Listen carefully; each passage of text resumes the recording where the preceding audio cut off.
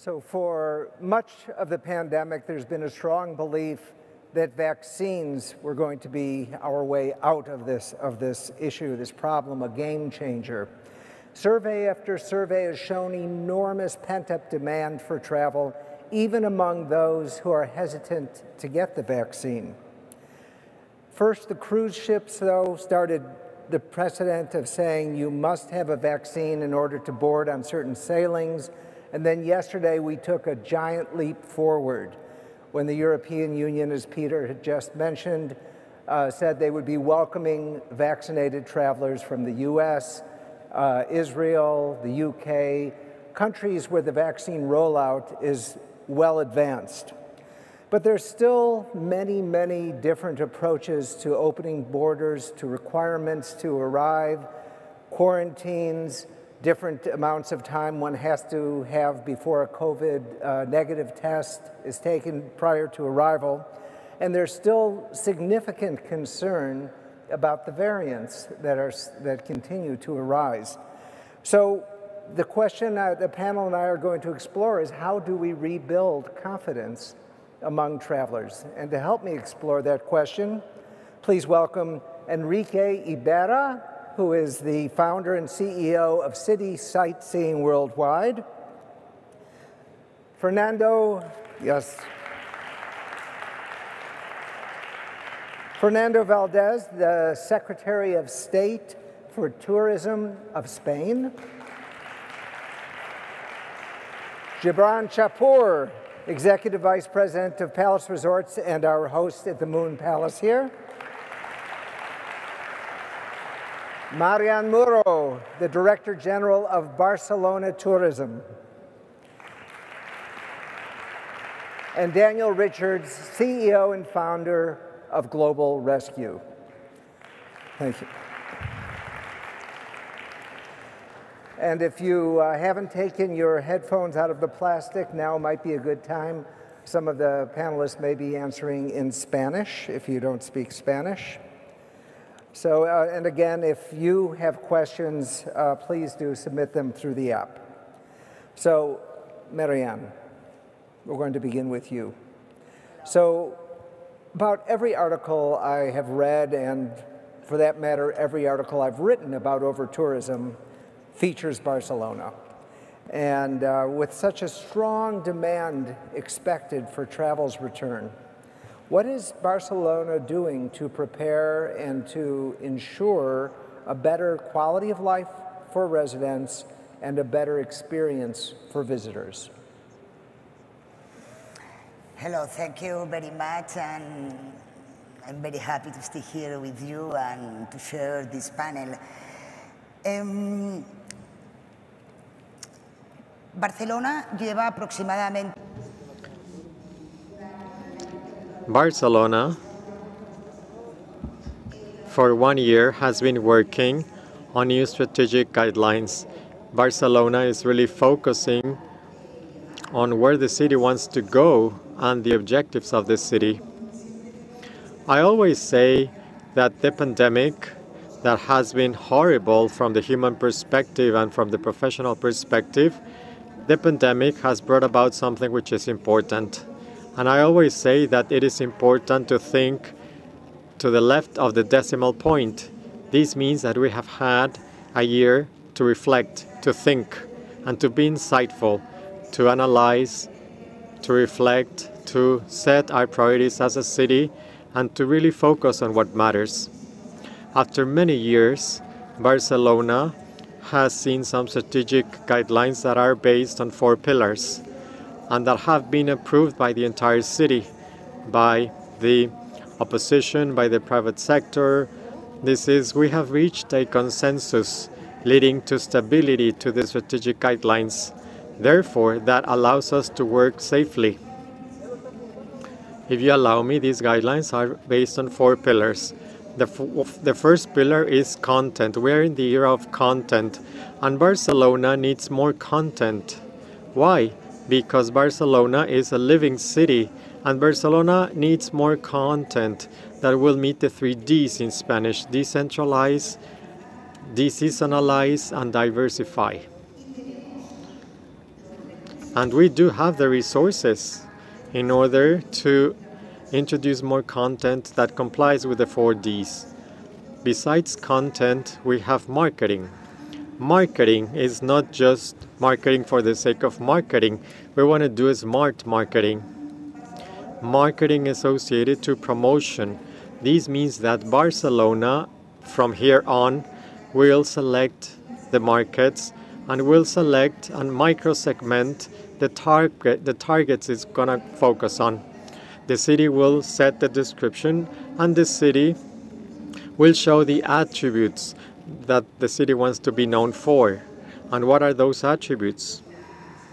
Gastronomy, culture, a small city, but with a territory that uh, allows you to see the Dali Museum in two hours. Also, you know, these attributes that we have to focus on, and these are the attributes that we have to market to, to, to put our policies around them. And something which is important is to use digitation. This is to use digital tools in order to manage tourism. You see, Barcelona as it has happened to other destinations that are mature, Barcelona has had an exponential growth. If you allow me, Barcelona is one of the most beautiful cities in the world. I think you shall agree with me, right? But it is true that as all destinations that are successful and mature destinations, we've been concerned more about their promotion than promotion and management. Now we are in a different stage. We're in the stage of promotion and management, and digital tools will help us so that whenever a visitor comes to Barcelona, the visitor will be automatically connected to a tool that will tell the visitor how many people are there in any attractive place or the safety measures, whether there's a queue, and will offer alternatives in case there's a queue or a line We'll give alternatives or it will tell the tourists to go visit later on.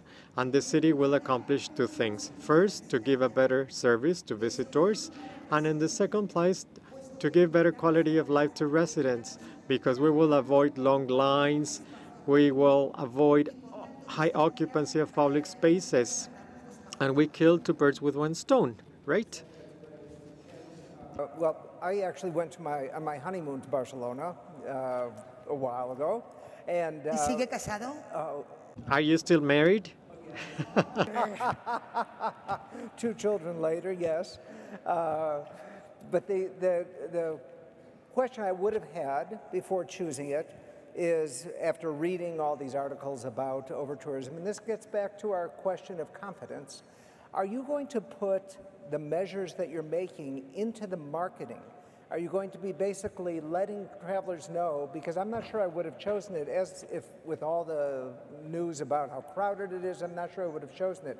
Are you going to make that part of your messaging, your marketing messaging, that this is going to be a different Barcelona? Yes, you're talking about the news in 2019 eh, that ended in 2019 because 2020 everything finished. But I was telling you that this year we have used the year of the pandemic to rethink what we wanted as a city. We have rethought where we want to go. Let me give you an example. I just came back from Russia. Barcelona has been the first city of all Europe that has known how to do promotion, the first city that does good promotion. Russia has not given visas to anyone but to tourists from Barcelona in the last year. We went to Russia last week, but because we have a strategy, we knew very well that now we have the light at the end of the tunnel, which is the vaccines and the green passport. And we destinations, we need to start doing promotion, not one day earlier. We need to go and tell markets how our destination is like, the measures we have adopted, the protocols we will be implemented. So the trip that Barcelona Tourism made to Russia, we presented the new Barcelona in Russia, a new Barcelona.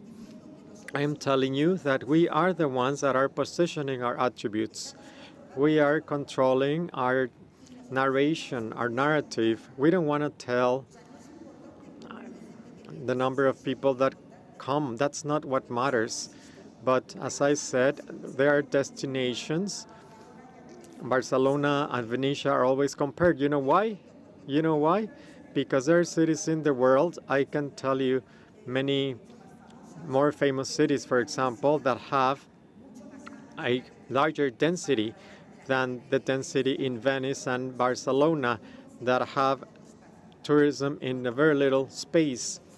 Therefore, all visitors gather in the same areas. But you can go to any city in the United States or from any other country or Asian city. You can go there, and depending on the season of the year, you cannot even cross the street because everything is so crowded. But that happens in specific places because the densities of those destinations are much bigger than the densities in Barcelona. So we are working on that. We have come up with new strategic lines. And I invite you all because what matters is for you to go and see it yourself, right? So I hope you will be coming to Barcelona. Not all at the same time, of course, but please come to Barcelona. We will there waiting for you with open arms so that you can see that Barcelona will be a sustainable Barcelona, a Barcelona where we'll have the warmth of all the people, of the locals, and that locals want tourists to come and to feel comfortable and safe. Enrique, you, you, uh, with your tours, are all around this worldwide, is in your title. So you're seeing there's obviously some that are closed off, but of the ones that are opening, uh, what are you seeing in terms of booking patterns that might give insight into where demand is greatest? Uh, you know, are there certain cities that really seem to be uh, doing well? Uh, and uh, what does that tell us about the traveler of the future? Well, uh, first of all, hello, hello, good, good afternoon to everyone. Hello, Gloria. Congratulations for organizing this event in these strange times. Wonderful. And well, what we are seeing, uh, the main trends we see from travelers that we've seen during the past 11 months of the pandemic and what we see for the future, I would summarize them in four of them actually. You know? Uh, we see travelers, uh, the main concern today about technology and sustainability, that those trends, we see them as uh, we were working of them in the pre-COVID times, no? But then there's some other two, there are other two trends. Talking about technology, the travelers, we see that they demand uh, very digital uh, travel experience. So they want a contactless and seatless uh, travel journey, starting from the beginning, from the research to the booking to the redemption.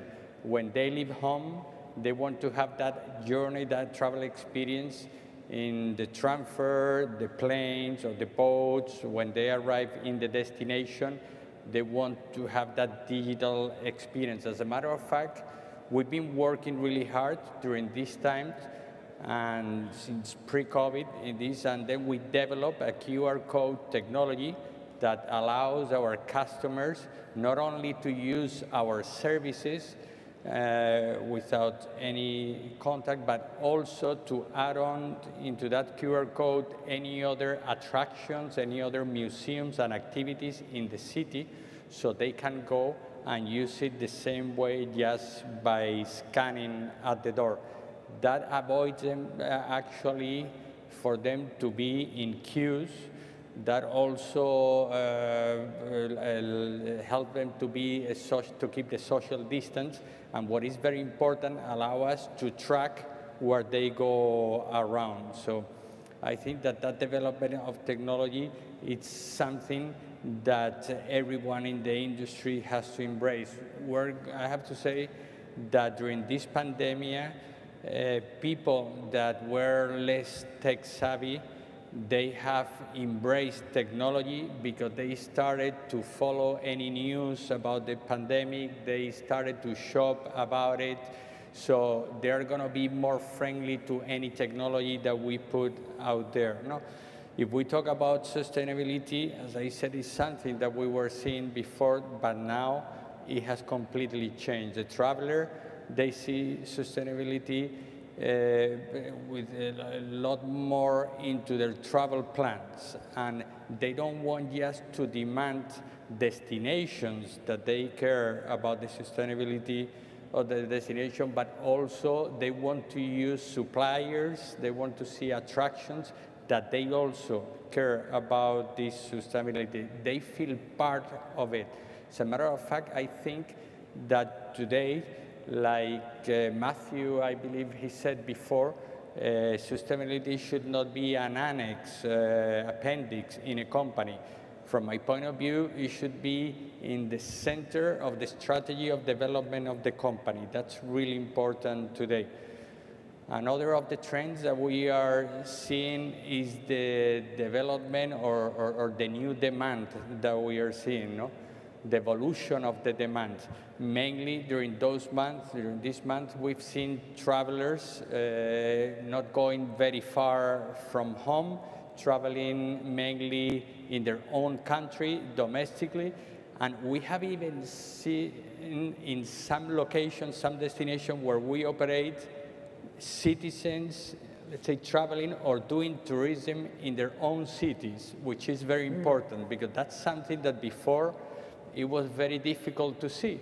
Actually, when we realized that people were tending to do that, we created some uh, packages, we bundled some product with other monuments, museums, and all that, and we marketed it just to the citizens, the local of that uh, destination, and the feedback, the, the products were very successful, and the feedback that we got from them that it was very important they were telling us that they learned a lot more about their, their culture, their heritage, and everything because they always think about traveling and doing tourism outside. So I believe that that was uh, really important. No?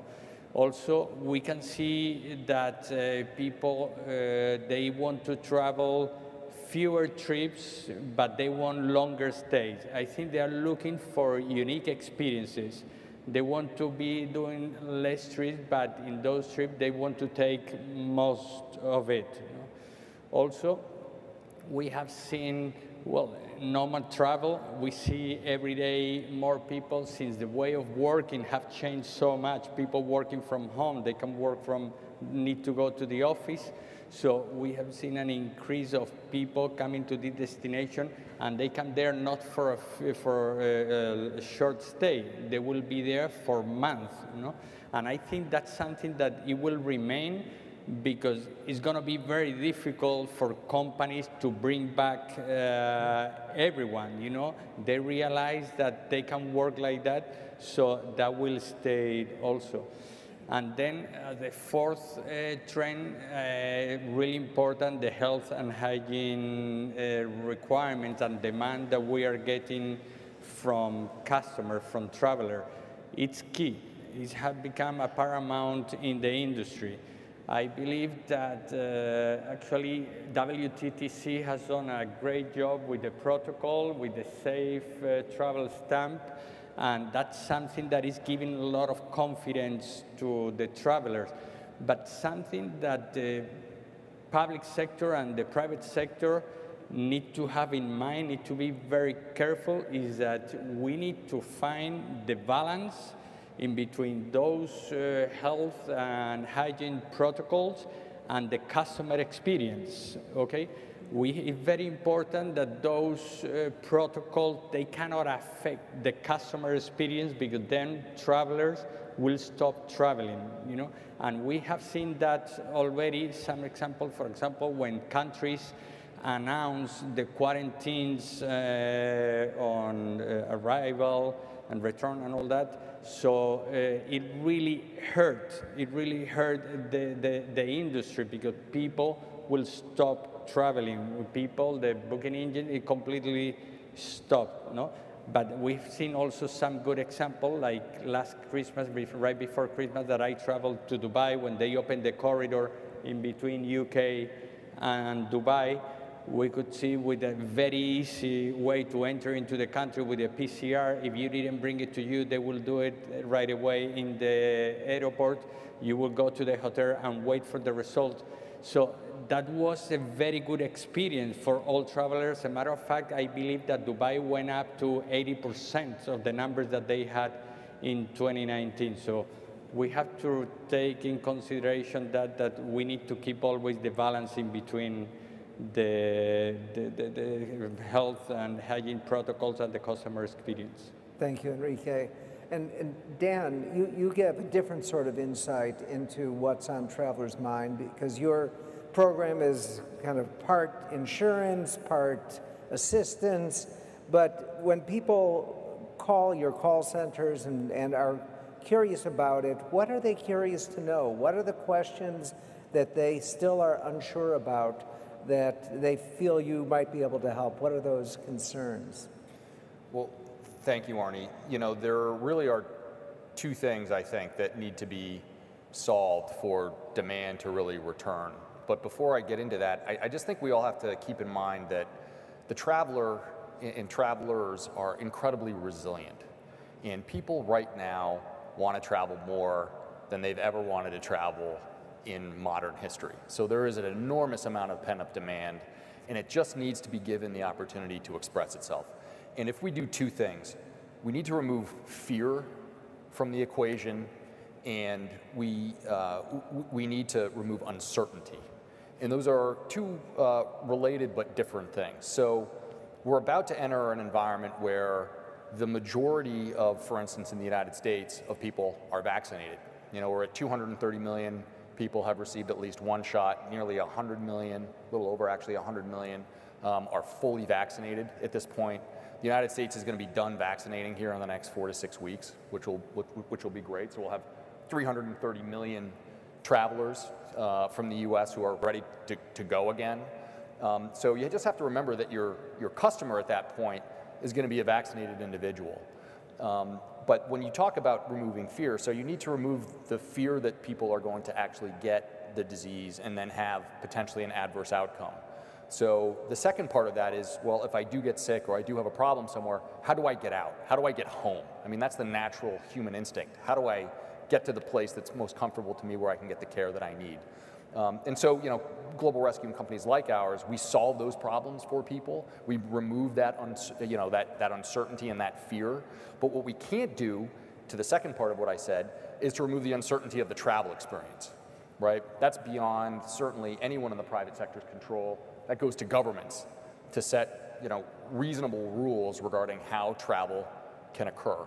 And if we can get some uh, level of um, you know, coordination among governments so that when travelers start to book that trip or start talking about it, they don't you know, get to the, you know, the screen that then shows them what they need to do in order to actually get from point A to point B. I mean, it's hard enough if you're an individual. Now imagine, you know, if you're a family with young children, um, it becomes very, very challenging. So you have to remove that uncertainty and you have to guarantee them that they're not going to get stuck in quarantine somewhere for some long period of time. Again, as an individual adult, uh, unpleasant but bearable.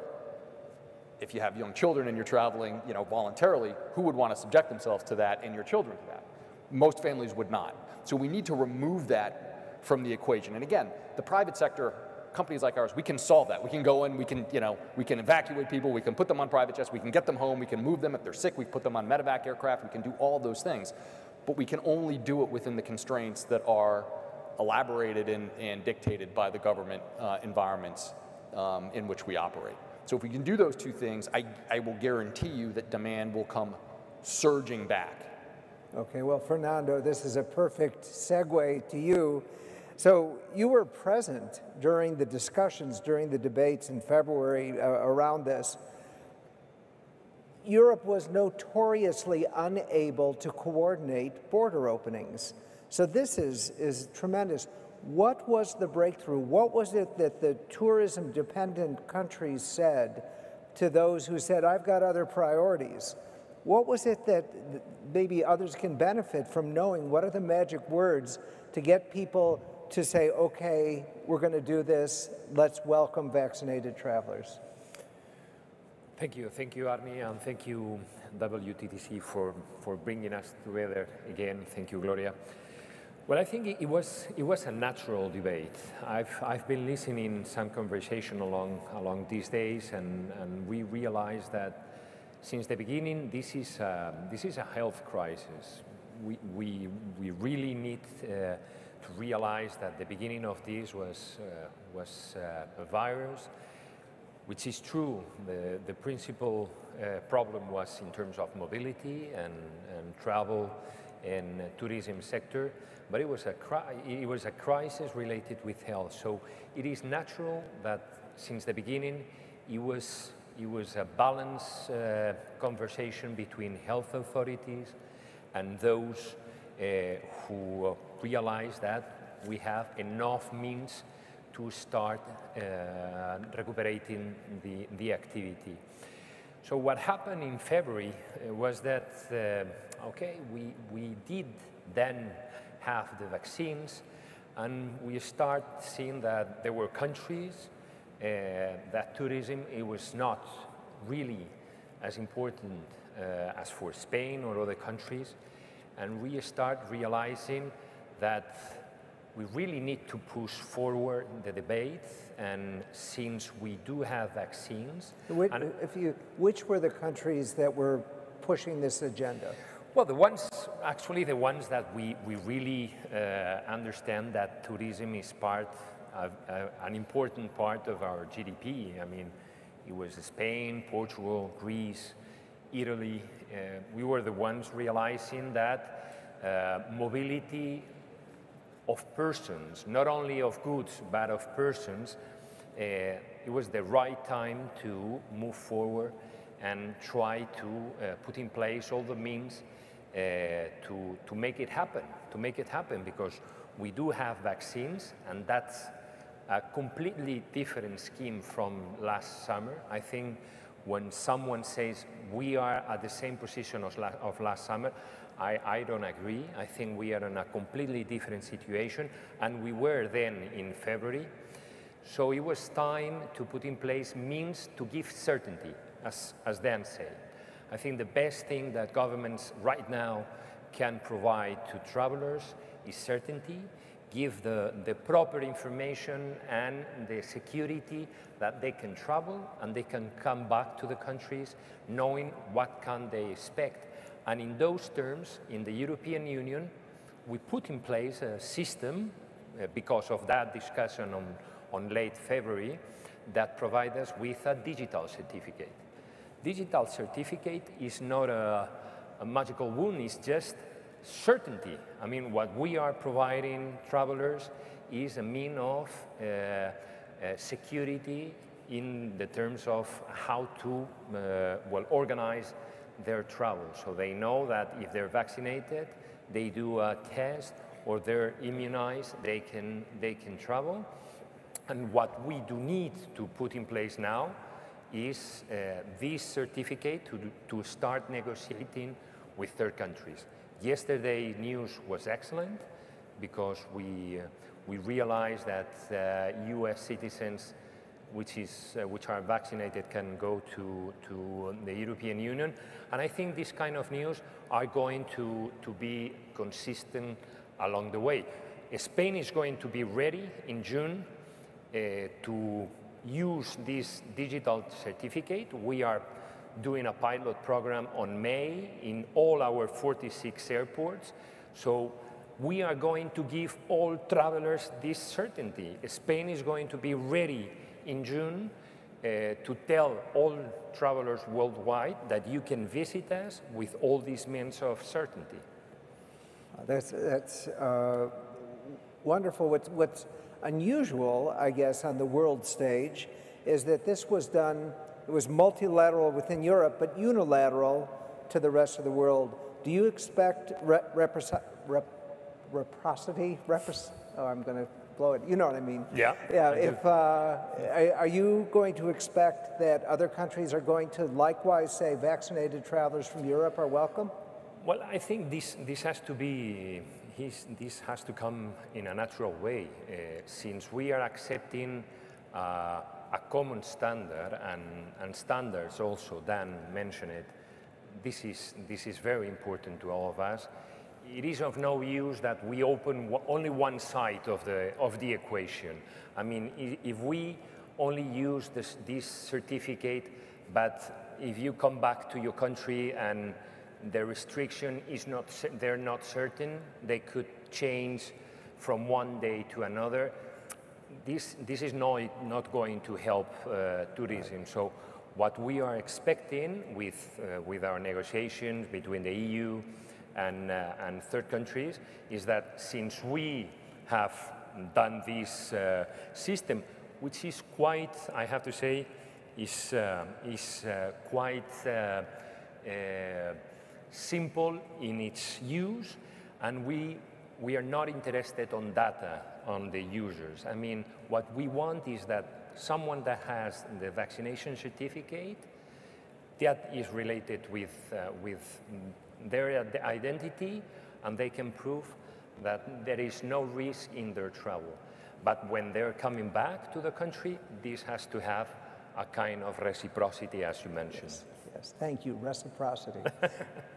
so, uh, Gibran, you, you're the only one on this panel who actually has been experience, has experience with travelers for uh, uh, any length of time since Mexico has been open. What do you think are the three factors that are the key to rebuilding confidence from what you've noticed in terms of the travelers who've come to Mexico? Well, thanks, Arnie. Um, this is one of the largest hotels in the world, and when we decided to open the chain, we weren't sure if we should open the small hotels rather than large hotels because we didn't know if the clients were going to decide uh, to stay in a crowded property rather than a, than a small one. So uh, what we did in the beginning was to create a very clear video of the protocols that we're going to be following. Uh, this was in June, uh, almost a year from now. And I can tell you that in our website, the, the protocol video, uh, the Purely Palace, uh, was much more visited than the promotions section of the webpage.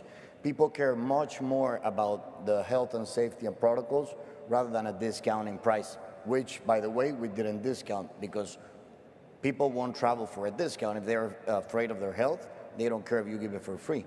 So, so this was very important to have a clear communication.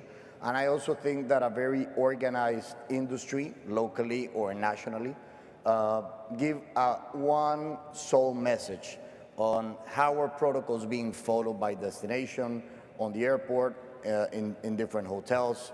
And I think in Quintana Roo uh, and in Los Cabos, I can tell you that the industry was very well organized in terms of having uh, the same protocols per se, and this created a very big confidence in the client because the, the, one of the problems that we have seen is that the messages to travel are not clear.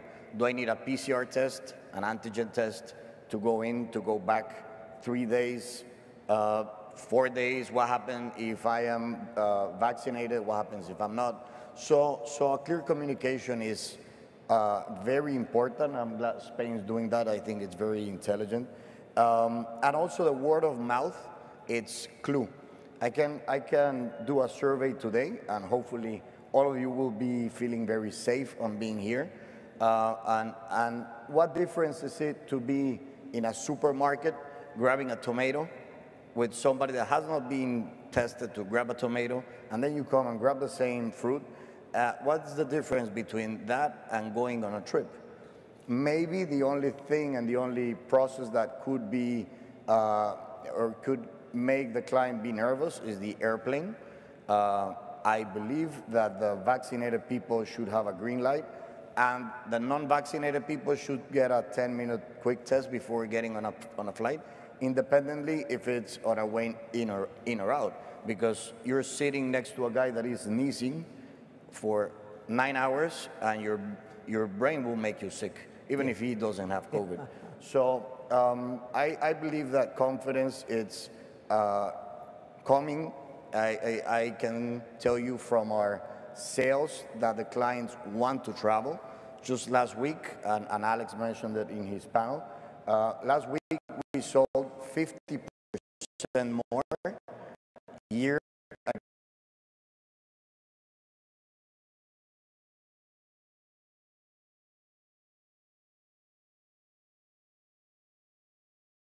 We have seen it from the U.S. The U.S. clientele to, to Quintana Roo, it's uh, growing up to a point that it's about to surpass uh, travelers from January and February from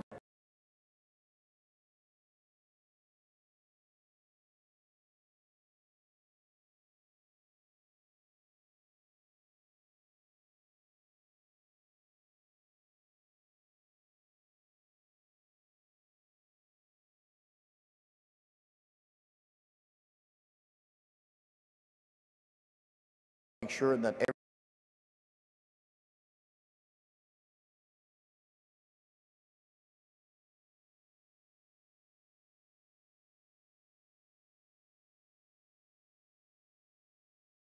uh, enjoy their lives, and I believe uh, also the travel is something that has taken relevancy in terms of uh, what, why do I want a new pair of shoes or a new watch?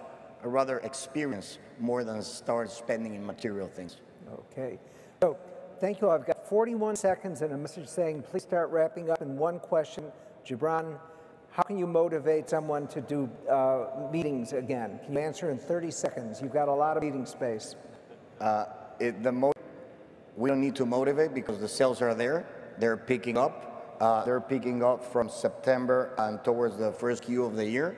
And I can tell you that last week we closed uh, nine groups of 3,500 rooms for six nights each, where we're going to uh, be a full buyout.